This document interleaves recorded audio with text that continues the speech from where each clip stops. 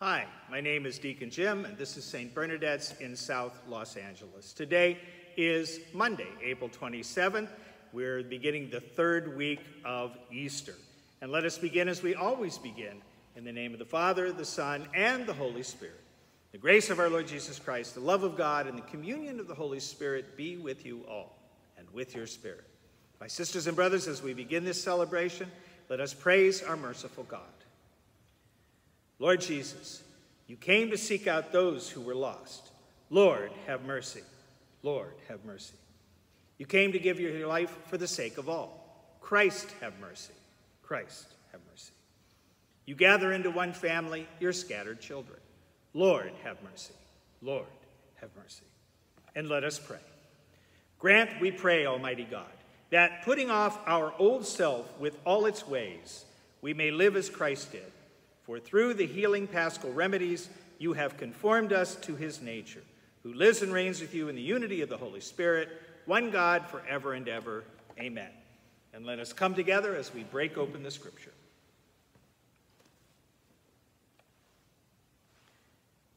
A reading from the Acts of the Apostles. Stephen, filled with grace and power, was working great wonders and signs among the people. Certain members of the so-called Synagogue of Freedmen, Cyrenians and Alexandrians, and people from Cilicia and Asia came forward and debated with Stephen. But they could not withstand the wisdom and the spirit with which he spoke. Then they instigated some men to say, We have heard him speaking blasphemous words against Moses and against God.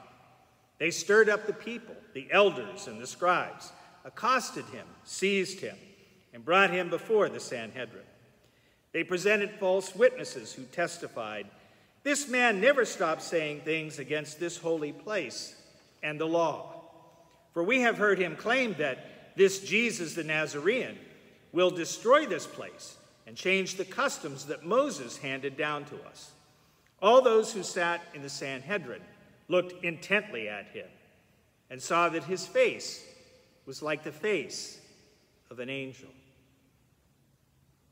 The word of the Lord. Responsorial psalm is Blessed are they who follow the law of the Lord. Though princes meet and talk against me, your servant meditates on your statutes. Yes, your decrees are my delight, they are my counselors. Blessed are they who follow the law of the Lord. I declared my ways, and you answered me. Teach me your statutes. Make me understand the way of your precepts, and I will meditate on your wondrous deeds. Blessed are they who follow the law of the Lord. Remove from me the way of falsehood, and favor me with your law. The way of truth I have chosen. I have sent your ordinances before me. Blessed are they who follow the law of the Lord. Alleluia, alleluia, alleluia. One does not live on bread alone, but on every word that comes forth from the mouth of God. Alleluia, alleluia, alleluia. The Lord be with you and with your spirit. A reading from the Holy Gospel according to John. Glory to you, O Lord. After Jesus had fed the 5,000, his disciples saw him walking on the sea. The next day, the crowd that remained across the sea saw that there had been only one boat there, and that Jesus had not gone along with his disciples in the boat, but only his disciples had left. Other boats came from Tiberias, near the place where they had eaten the bread, when the Lord gave thanks. When the crowd saw that neither Jesus nor his disciples were there, they themselves got into boats, and they came to Capernaum looking for Jesus. And when they found him across the sea, they said to him, Rabbi, when did you get here? Jesus answered them and said, Amen, amen. I say to you, you are looking for me, not because you saw signs, because you ate the loaves of the bread and were filled. Do not work for food that perishes, but for the food that endures for eternal life, which the Son of Man will give you. For on him the Father, God, has set his seal. So they said to him, What can we do to accomplish the works of God? Jesus answered and said to them, This is the work of God, that you believe in the one he sent. The gospel of the Lord. Praise to you, Lord Jesus Christ. So today we hear in the first reading the first part of a two part story about Stephen. We're going to hear the second part tomorrow. We'll talk a little bit more about that. You have to hear both parts to understand it. Nice thing about Stephen is Stephen's deacon, one of the first deacons. So, of course, I'll be looking forward to talking about him tomorrow. But the reading we have today is really important because Jesus is talking about, they're all really important in the Bible, right?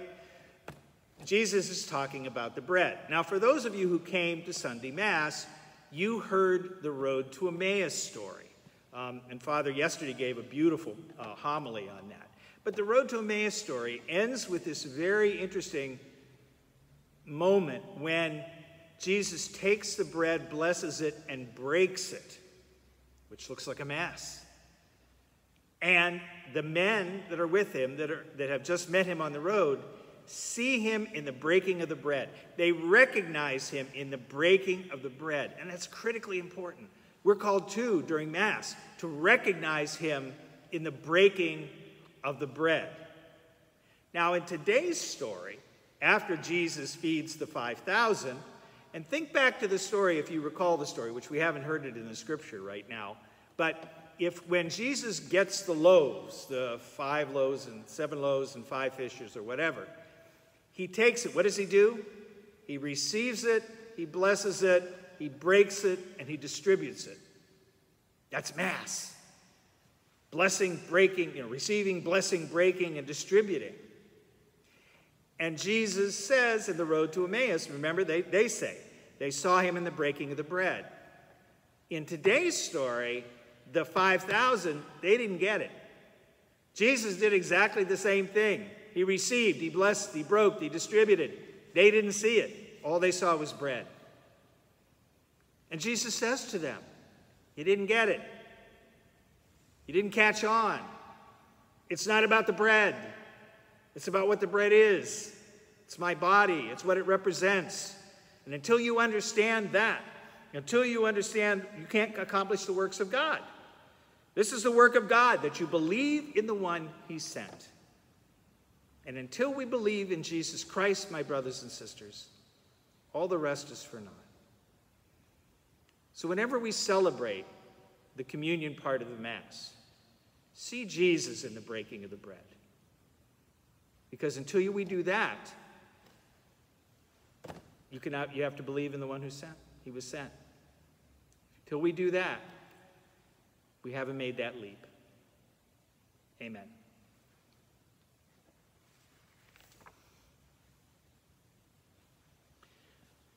We have opened our hearts and minds to the wisdom of God in the liturgy of the Word. Now let us turn to Him humbly and sincerely with these common petitions. For our Holy Father, the Pope, for our Archbishop, Jose, and for all the pastors, priests, and deacons of the Archdiocese of Los Angeles, that they be blessed with the zeal and courage to proclaim the values and the obligations of our holy religion. We pray to the Lord. Lord, hear our prayer. For our civil leaders and representatives on the national and local level, that their laws and their lives be an inspiration to all citizens by reflecting right reason and divine revelation. We pray to the Lord. Lord, hear our prayer. For our youth in particular, that they be given the encouragement and the guidance they need to resist the immoral and sinful presence of our current pagan culture. We pray to the Lord. Lord, hear our prayer. For the sick, the needy, the aged, the lonely, particularly those that are suffering with the coronavirus, that they be consoled spiritually by the gifts of grace and also receive care, aid, and loving concern from relatives, friends, and neighbors. We pray to the Lord. Lord, hear our prayer. For those who have died recently, particularly those that have died from the coronavirus, that they may speedily attain the blessedness of heaven, we pray to the Lord. Lord, hear our prayer. And for our own personal intentions,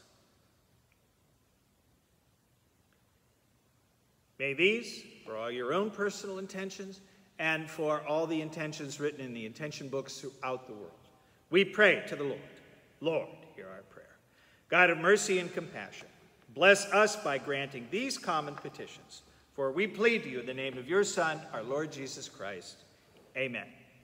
And let us pray together the prayer our Lord Jesus taught us. Our Father, who art in heaven, hallowed be thy name. Thy kingdom come, thy will be done, on earth as it is in heaven. Give us this day our daily bread, and forgive us our trespasses, as we forgive those who trespass against us. And lead us not into temptation, but deliver us from evil. For thine is the kingdom, and the power, and the glory forever and ever. Amen. And my brothers and sisters, let us close today with a prayer. Almighty, ever living God, we restore us to eternal life in the resurrection of Christ. Increase in us, we pray the fruits of this paschal sacrament and pour into our hearts the strength of this saving food. Through Christ our Lord, amen. And the Lord be with you and with your spirit. And may Almighty God bless you, the Father, the Son, and the Holy Spirit. My brothers and sisters, go in peace to love and serve the Lord and one another. Thanks be to God. Have a blessed day and a blessed week.